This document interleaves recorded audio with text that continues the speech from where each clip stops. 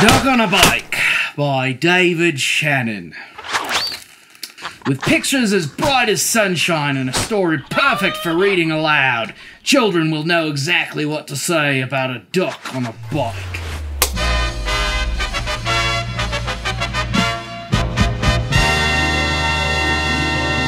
Duck on a Bike by David Shannon. This page is ripped.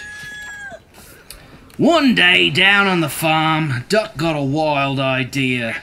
I bet I could ride a bike, he thought. He waddled over to where the boy parked his bike, climbed on, and began to ride. At first, he rode very slowly, and he wobbled a lot, but it was fun. Duck rode past Cow and waved to her. Hello, Cow, said Duck. Moo, said Cow. What she thought was, a duck on a bike? That's the silliest thing I've ever seen. Then Duck rode past Sheep. Hello, Sheep, said Duck. Baa, said Sheep. But what she thought was, he's going to hurt himself if he's not careful. Duck was riding better now. He rode past Dog. Oh, Dog, said Duck. Woof, said Dog. But what he thought was, this is a mighty neat trick. Then Duck rode past Cat. Hello, Cat, said Duck. Meow, said Cat. But what she thought was, I wouldn't waste my time riding a bike. That's her cat's purr. Duck pedaled a little faster. He rode past Horse. Hi, Horse, said Duck. said Horse. But what he thought was, You're still not as fast as me, Duck. Little uh, impetuous, the horses. Duck rang his bell as he rode toward Chicken. Hello, Chicken, said Duck. said Chicken. But what she thought was, Watch where you're going, Duck! Then Duck rode past Goat. Hello, Goat, said Duck. Meh, said Goat. But what he thought was, I'd like to eat that bike. Duck stood on the seat and rode past Pig and Pig. They're both named Pig. Hello, pigs, said Duck. Oink, said Pig. Oink, said Pig. But what they thought was, Duck is such a show off.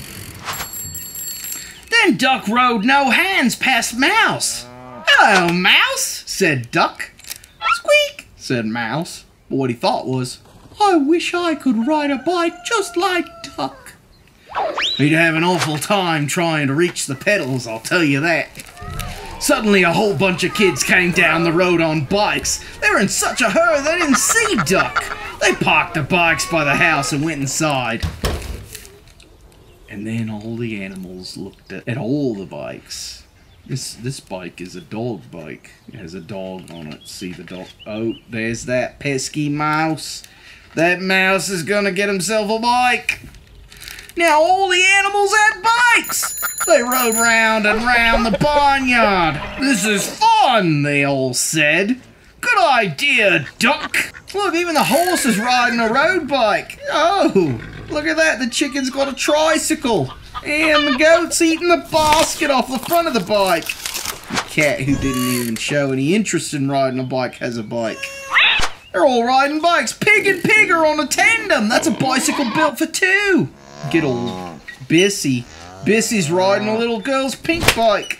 She's gonna bend the frame. Then they put the bikes back by the house, and no one knew that on that afternoon there'd been a cow, ah. a sheep, a dog, a cat, a horse, a chicken, a goat, two pigs, a mouse, and a duck on a bike.